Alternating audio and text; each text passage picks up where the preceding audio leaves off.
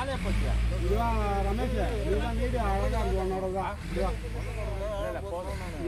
இல்லைன்னா கருப்பு மட்டம் மேல தெரியுற மாதிரி வச்சுக்க போனே இருக்குது கருப்பு மட்டம்